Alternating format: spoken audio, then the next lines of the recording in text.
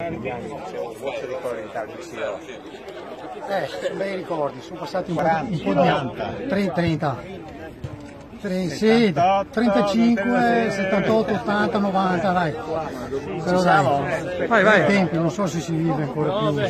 Allora, con noi Dino Galparoli e 11 Dino. Grandi anni passati, nel- penso i più belli Allora, della carriera. siccome lui gioca avanti, giocare in punta assieme a lui. Sì, beh, io ho fatto 9 Mauro, giochi avanti con lui, con Ciro. dove ho avuto grosse soddisfazioni a livello sportivo e poi a livello anche personale e umano, perché mi sono trovato bene in Friuli e ogni volta che vengo provo qualcosa di, di- di particolare, qualcosa mi si muove dentro, vuol dire che qualcosa, qualcosa questa terra mi ha lasciato.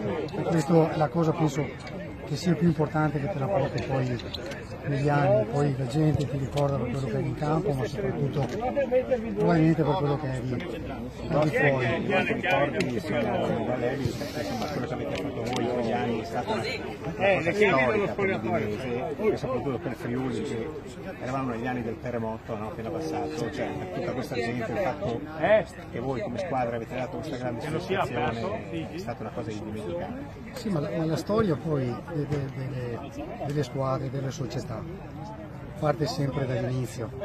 Se non c'erano quei tempi lì, adesso non c'era. l'Udinese non sarebbe.